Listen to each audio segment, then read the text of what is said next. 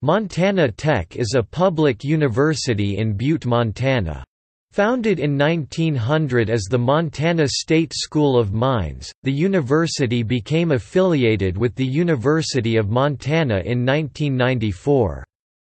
In the summer of 2018, the Montana University System Board of Regents voted to officially change the school's name from Montana Tech of the University of Montana to Montana Technological University. In fall 2017, Montana Tech had nearly 2,700 students, 13 campus buildings, and offers 45 undergraduate degrees along with 15 minors, 11 certification degrees degrees, and 10 pre-professional career programs. Montana Tech also offers 21 graduate degrees and a PhD in materials science. Topic academics Montana Tech offers approximately 45 undergraduate degrees along with over 15 minors, 11 certification degrees, and 10 pre-professional career programs. Montana Tech also offers 13 graduate degrees and a PhD in materials science.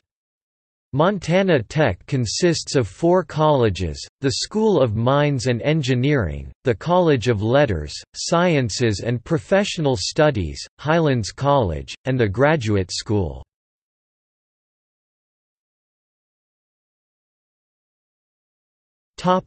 Athletics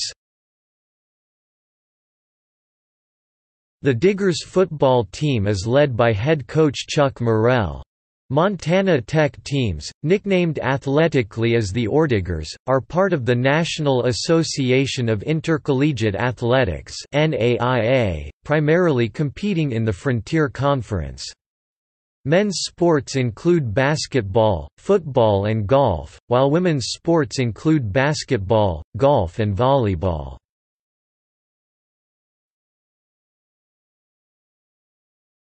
Topic: Reputation and rankings. The Wall Street Journal ranked Montana Tech ninth in the nation for best public universities for return on investment. Read the full story on the Wall Street Journal website. In 2014, Montana Tech was ranked sixth in the nation for graduates earning the highest starting salaries, according to the Washington Post article. Notes